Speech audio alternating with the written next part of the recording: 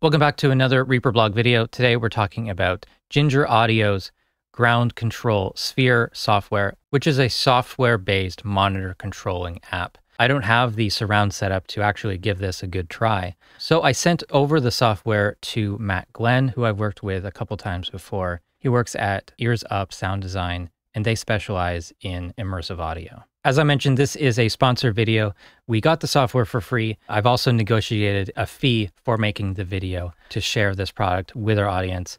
And I don't do sponsored videos very often. Doing a sponsored video in this case because I'm using some of their other software and have been for years. This is the ground control caster software. And this has been such an important part of my recording and live streaming setup. I'm using this all day, every day. You can have multiple apps tying in here mixing down to a stereo channel, which you send over to the streaming software. You can add effects to any of these inputs. You can record anything. There's MIDI control. There is a soundboard. Fantastic stuff. All the features you could want. And because I use this and I paid full price for it, um, and I, I, have a relationship with Ginger Audio uh, for years now. Uh, I did a video on previous software. I helped with beta testing some of the previous stuff. So when this opportunity came up, I suggested that we do it as a sponsored video and they agreed. So yeah, we did get paid for this video, but sometimes you have to. You can't just do every video for free. Hopefully it is packed full of useful information for you. Let's get into the video.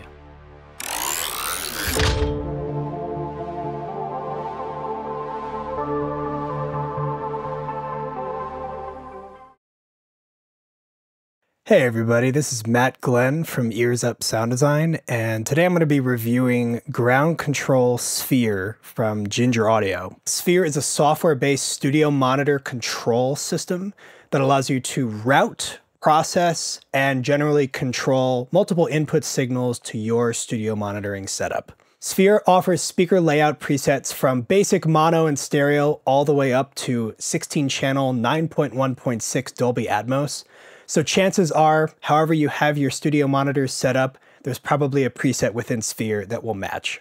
Sphere lists for $499, but right now, if you go to Ginger Audio's website, it is on sale, 20% off for 399.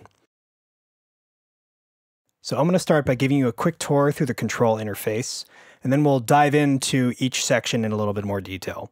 Sphere's UI is anchored by this main overview where you can see most of the primary metering and controls.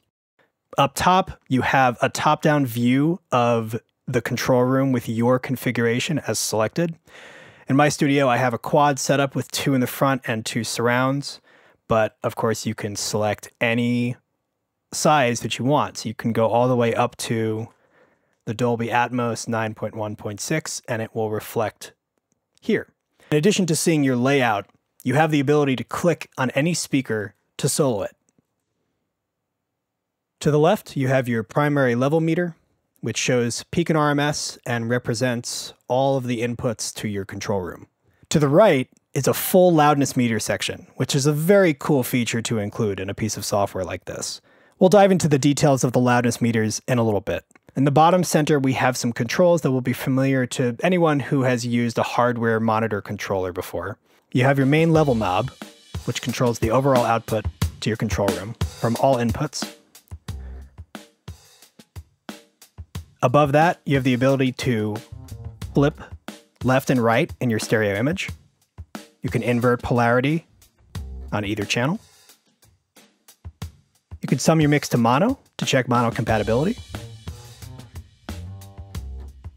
And in addition, you have the sides button, what this does is introduce mid-side processing to your mix and solos the sides.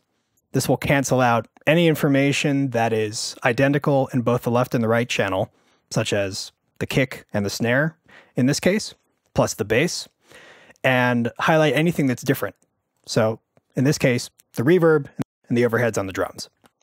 Above that, we have some more options for soloing speakers. Clicking front will solo your front screen speakers, and wide your widescreen speakers in case you have those. You can solo your surrounds, your rears, and your top speakers for a Dolby Atmos setup. On the bottom right, we find more familiar controls that you typically see in a monitor controller. We have a talkback mic, which can be set to be momentary, or latched on and off. You have three buttons for reference levels that allow you to quickly recall preset levels of your choosing. This is great for working with multiple calibrated levels for audio post production folks. So let's say I wanted to change this reference level number one from this negative 19 random number to something new. I'm going to right click on the button and I can either set the current new value like this, or I can manually type in, say, negative six. And now when I click it, it recalls the new level. To the right, you have a cut button, which allows you to mute the output, as well as a dim button, which will dim the output level by an amount that you dial in on the knob to the left. In the top right hand corner, you have a couple more controls and settings. This top button allows you to pin the window on top of your view. Now, for those of us who use multiple pieces of software with many windows open, it can be very easy to lose something like Sphere or like your audio interface controller, which you don't need very often, but when you need it, you really want to grab it quickly. So, having this, really nice. You have the ability to do a light mode or a dark mode, or you can have the color scheme follow your system based on whether it's day or night. Now here you have the ability to scale your window up or down by fixed amounts or manually in the bottom corner. Below that, you have access to a hotkey menu. You can assign a hotkey to pretty much anything in the software, and there's a lot of options.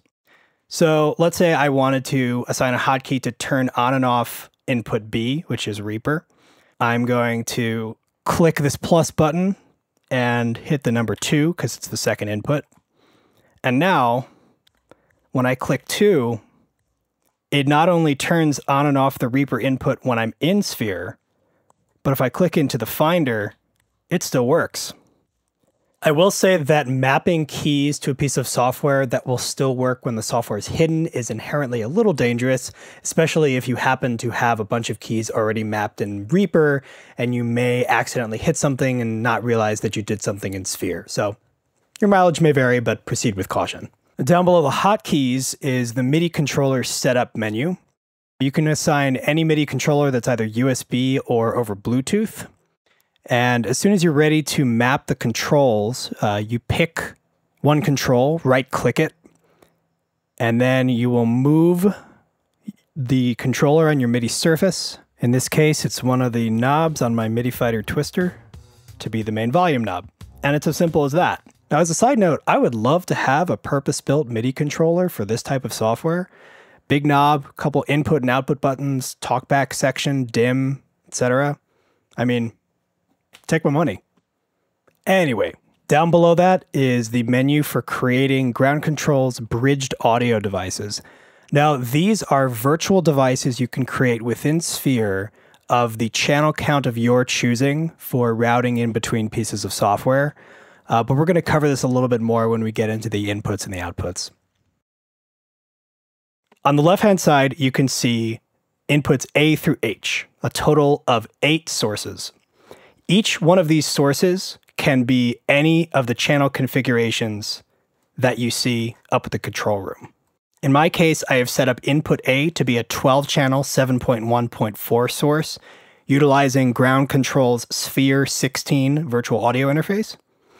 Input B is another virtual audio interface directly from Reaper. C is Pro Tools. D is Zoom. And E is Google Chrome. Each input features an on and off button a dedicated input meter, and a button in the bottom right corner labeled sum.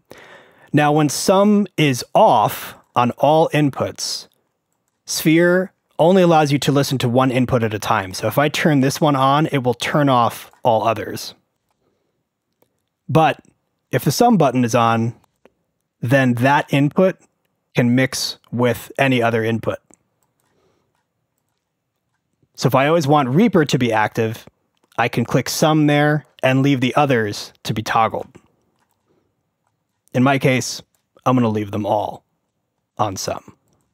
Now, in addition to giving you an overall loudness meter for the control room, Ginger Audio has given each input an individual loudness meter in a floating window. Personally, I think this is one of the nicest touches because I can tuck this window off on another screen or in the corner of my main screen so I can glance over, just take a look at my loudness and peak information for that input, and then forget about it. I don't need to have the entire sphere window up and visible just to monitor my loudness. Now, much like the loudness meter in the main view, this gives you range, integrated loudness, short term loudness, true peak, maximum short term and momentary, and the ability to select your platform that changes how the meters show up. The settings wheel in the top right corner of each input opens up the detailed input view. Here's where you can select the audio device that provides the source for the input. In my case, it's a virtual device called Reaper Output, but I can select any virtual or physical audio device available to my computer. There are three built in virtual devices from ground control Sphere 16, Sphere 32, and Sphere 64, as well as access to the same bridged audio devices dialog available off to the right hand side here. So let's create a bridge device. I'll add it and then click this paintbrush to edit the name. We can just call it bridge one. I'll make it four inputs and outputs. Now this is nice because as you saw, ground control offers a 16, 32, and 64 channel uh, device by default. However, if you wanted to make something smaller so that you could make an aggregate device, this is a nice way to do that. So once I've applied that, I can close. And now if I go back to say input F, I can select bridge one here at the bottom in quad as the input source. I can name this input bridge one, and I can even select a nice new color. Let's say a sky blue. And now, when I return, we see we've got this named and colored here. Now going back into the menu, down below the input and naming, we have a volume setting with stepped input. We have the ability to send this input to a cue mix or a headphone mix, which we'll go over in a moment. And then we have the ability to add a plugin. Now, this is huge. I'll cover the plugins in just a moment, but know that you can insert a plugin on the overall input or you can insert it on any individual channel.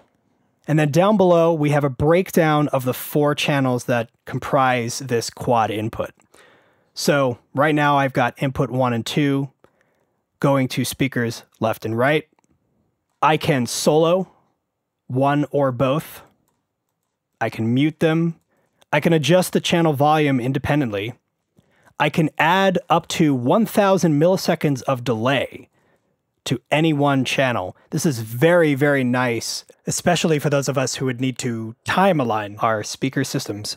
And then, last but not least, we have the plugins. This is one of the most groundbreaking features offered in this software, in my opinion. You have the ability to add any audio units plugin of your choice to an individual channel of the input or to the input as a whole. So let's uh let's turn this up just for a second so we can be hearing this in context. Let's say I was getting a little bit of a boomy bass on my left speaker, a little bit more than the right. I could come in to my plugins menu, I could insert a FabFilter EQ, and I could take the left channel pull down the bass.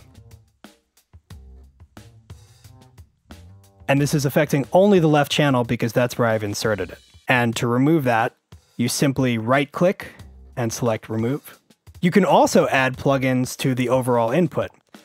Uh, and because this is a quad input, if you have the ability, let's say I want to insert a uh, exponential audio Stratus, which is a nice reverb, I can not only add that, I can set it up to be any layout that I want. In this case, it's quad, but I could make it just stereo if I wanted to. I could do stereo to quad. And it's showing up in red because it doesn't match the exact layout, but it will still actually pass audio. Obviously, this is a bit of an extreme example. I'm not sure why you would want to put reverb on your monitor output, but hey, get creative. So I'll get rid of that, but I think you can see that when you add up the really detailed volume and delay control per channel, plus the ability to put plugins in again per channel or overall, it gives you this suite of tools that you can use to do anything from time aligning and tuning a room to just sweetening your monitoring setup to your taste. The outputs menu is divided into two different tabs. You have your main output here, which offers you a main speaker output, two alternates, as well as a cue, which you may use for your headphones, you may use for a monitor in another room, that sort of thing. And then you have four additional utility outputs to use as you'd like. Much like the inputs, each output features a settings menu where you can select your output device, name and color the output, set the volume, add a plugin, and then control the routing and other parameters on a channel by channel basis. Now, the addition that you find in the output section is bass management. In the case of this main output, I have it set up as a quad, which does not feature a subwoofer by default. But if I were to change the setting to 5.1, uh, a 5.1 system has a subwoofer, so it opens up the ability to activate bass management. Now, a quick aside about the speaker configurations available in Sphere. Most of them tend to adhere to some sort of cinema standard Dolby 5.1, Dolby 7.1, Atmos, uh, an Auro preset. And that's all well and good because that's going to cover a lot of studios out there. But what happens if you have a studio like mine where there's a quad setup, but I choose to buy a subwoofer and I want to set up my monitoring system so that I have bass management and can preview mixes with bass management. As of right now, there's no way to do that with Sphere. Currently, the only workaround would be to use a 5.1 system and then just simply not use the center channel. And that's fine, but it's a workaround. And I feel like it would be a relatively simple tweak to offer the option of an added subwoofer in formats that don't ordinarily have it. But again, it's a bit of a nitpick since there is a way to work around. Now, with that aside, the bass management system here is pretty awesome. You have the ability to independently set high pass frequency and slope, low pass frequency and slope for each and every channel that you'd like to send to the bass management. For the sub, you only have low pass filter, but you do have a subwoofer volume here to dial that in. And of course, the overall system on and off switch. Again, much like the delay and the plugins, this is a fantastic feature for those of us who want to tune and calibrate a room. Now, I know there's a lot of you out there that probably work in an unideal acoustic space, especially after the pandemic. Uh, a lot of us converted a bedroom or some room in our house to be our studio. I completely understand it. I'm standing in a converted bedroom right now. We'll treat it as much as we can, but you can't necessarily get around certain issues with frequency response, level. There's a lot of compensation that you can do with EQ and delay timing and deliberate processing set up on the output of your DAW before it hits the speakers. But when you buy hardware units for that, it can get really expensive really quickly. So I have to give Ginger Audio kudos because they've created a tool that's a lot more accessible to a wide base of users, but it still gives you a really comprehensive set of tools for managing your listening environment. Now, jumping back to the main view, uh, much like the sum on the input side, there's a lock button here, which when clicked means that if I select another output, this output remains untouched. If that were off, it would select only one output at a time. Much like the inputs, you have the ability to monitor individual outputs loudness. You have individual peak meters, and you have a trim dedicated to that output that takes you from negative infinity all the way up to 0 dB. Now, specifically on the cue mix, they offer you some of the same controls that you get for the main monitor section. You can sum to mono, you can listen to the side channel, you can invert polarity on either channel, uh, as well as the included trim. Now, the last area of I.O. to talk about is the TalkBack mic.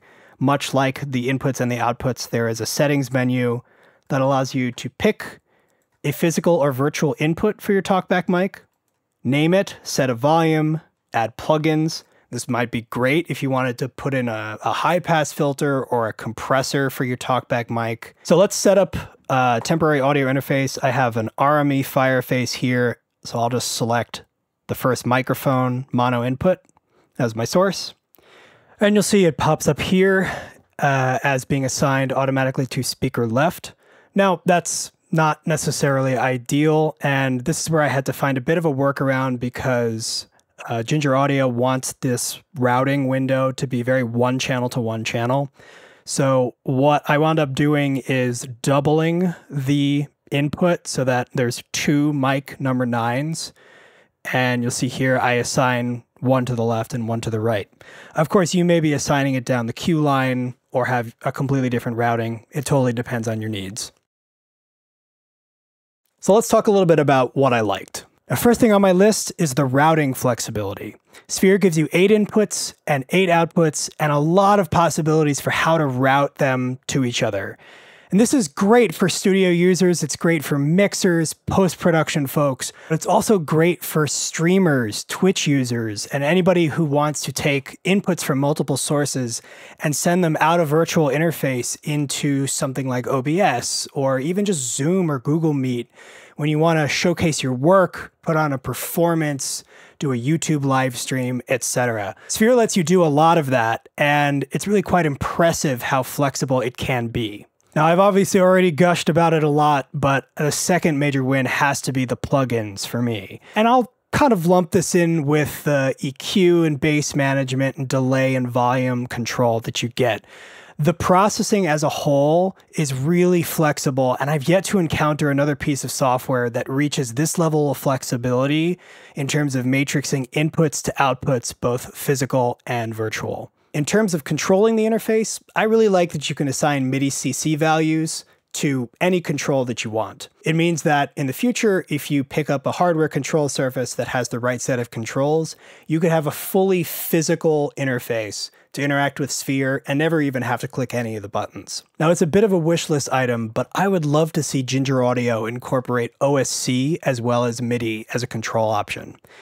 Most software that can handle OSC can also send MIDI messages, things like Max MSP or Touch OSC, Lemur, etc. In situations where your studio is network based or you're communicating across a network, I have found OSC to be a little bit more stable and reliable than network based MIDI. As of now, Sphere does not feature native support for fold down mixes. Now, for those who don't work in surround formats as often, a fold down is simply a reduction from a full surround format like Atmos or 7.1 down to a smaller format like 5.1 or stereo so that you can check what a theater mix will sound like on a home system. It's a very useful feature for those who create work in spatial formats that will eventually be broadcast or widely distributed in smaller channel counts. Now, this might come in the form of a dedicated fold down button or it could come in the form of a more flexible routing solution for inputs. For instance, if I wanted to fold down this 5.1 input into a stereo feed, I don't have a way to do that in Sphere. I can send the same input channel to multiple speakers, but I can't send multiple input channels to the same speaker, which is what I would need to do to bring this mix down to just the left and the right. Now, there's probably a third party plugin that can do this, But I feel like with a product like Sphere that's clearly targeting large studios with huge monitoring setups, being able to fold down seems like a natural addition to the suite of tools that's already there.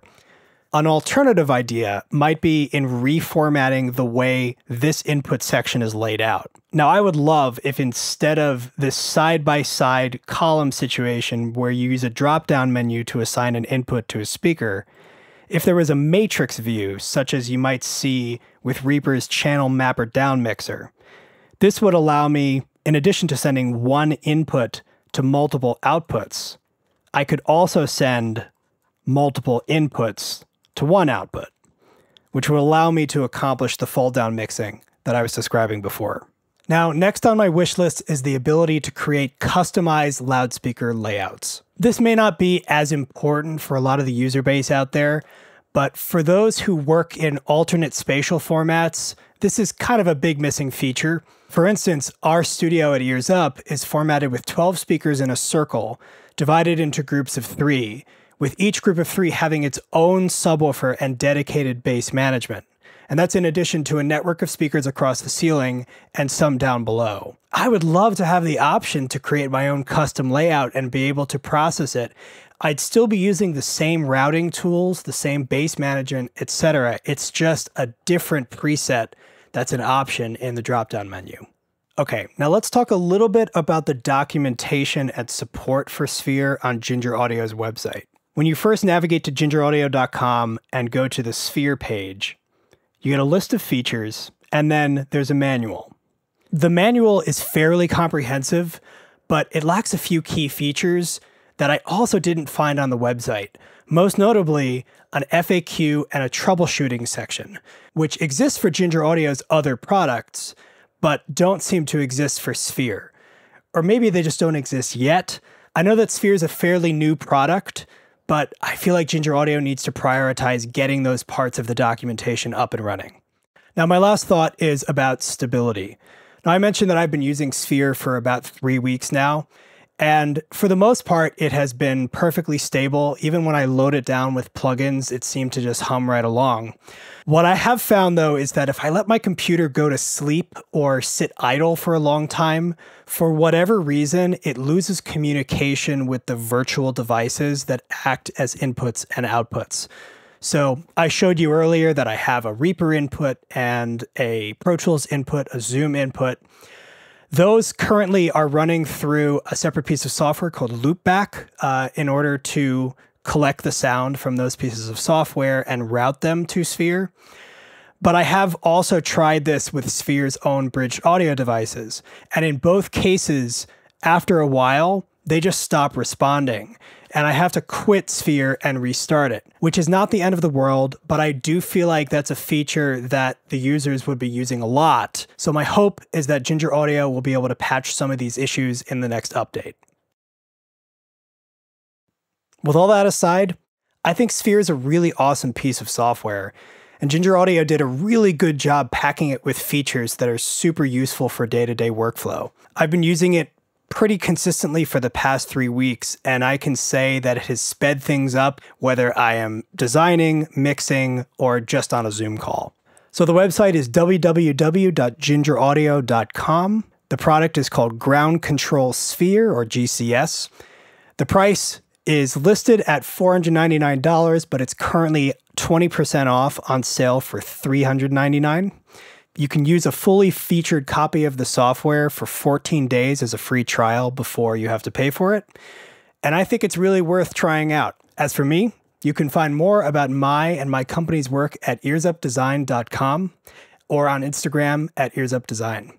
So thank you for watching, and don't forget to support Jon and the Reaper blog.